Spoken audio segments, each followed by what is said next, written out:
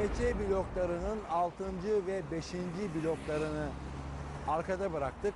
4, 3, 2, 1'e doğru gidiyoruz. Fakat arada yani blokların inşası esnasında ve cadde yapılırken yani bu Atatürk Bulvarı Caddesi yapılırken yıkılmayan sadece cadde üzerinde bulunan eserleri alınıp taşınmış bahçenin içine konulmuş bir caminin önündeyiz.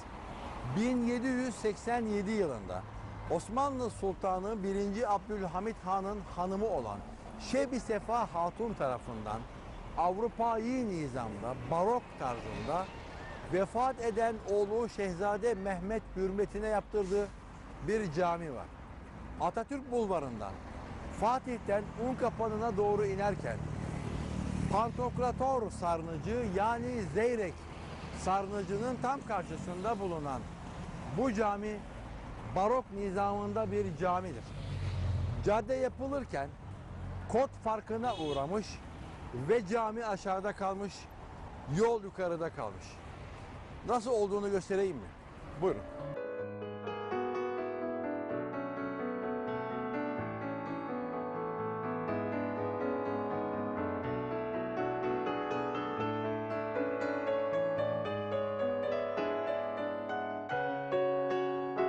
Yapıldığı günler bu arada şunu söyleyeyim. Ben şu an 1787 İstanbul'undayım. Siz 2018 İstanbul'undasınız. 2018 ile 1787 yılları arasındaki en temel fark yollar yükseldi, kotlar yükseldi, asfaltlar yükseldi.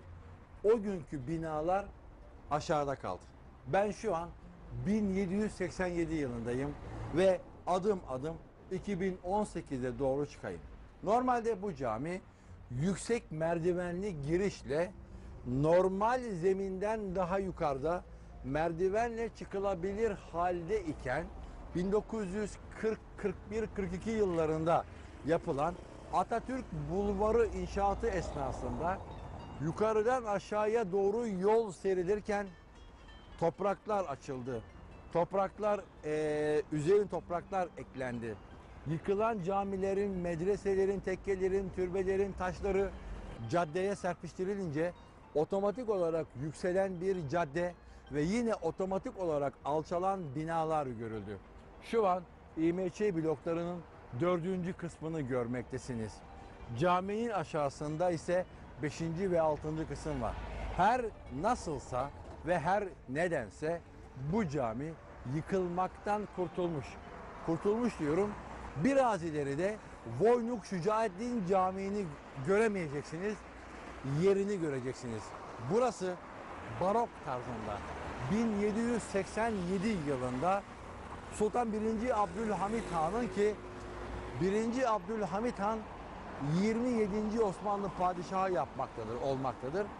27. Osmanlı padişahı 1. Abdülhamit Han'ın hanımı Şepsefa Hatun tarafından o yıl vefat eden sevgili oğlu Şehzade Mehmet adına yaptırılmış güzel bir camidir.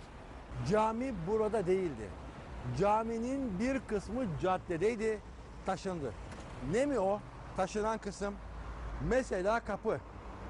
Bakın çok şekilsiz duruyor. Çapraz duruyor. Normal camiye giriş gibi değil. Rastgele bir yere konmuş gibi duruyor. Yanlarındaki çeşmeler. Bunlar da caminin burasında değildi. Cadde ortasındaydı. Gelin böyle size başka bir şey göstereyim. Şepsefa Hatun Camii bir külliyedir ve içinde medreseleri vardır.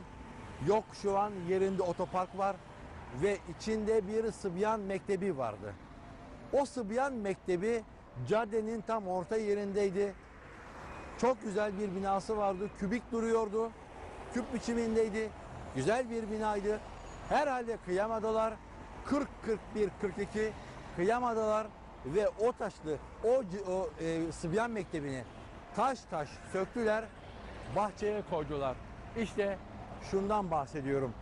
Bu Sıbyan Mektebi'dir ve asıl yeri burası değildir. Caddenin tam kırmızı ışığın yanmasını bekliyorum. Size bu binanın aslında olduğu yeri göstereyim. Bakın bu normalde neredeydi? İşte buradaydı sevgili dostlar.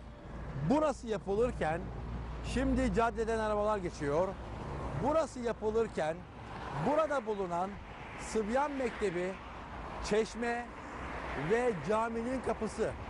Kapı biraz daha içeride. Caddeye göre içeride. Çeşmeler bu- burada. Sıbyan Mektebi burada. Ve caminin etrafında yapılar vardı. O yapıların büyük bir kısmı yıkıldı. Yıkılmayan kısımlarsa taşındı. Bir daha söylüyorum. Şu an caminin bahçesinde bulunan Sıbyan Mektebi'nin asıl yeri burasıydı.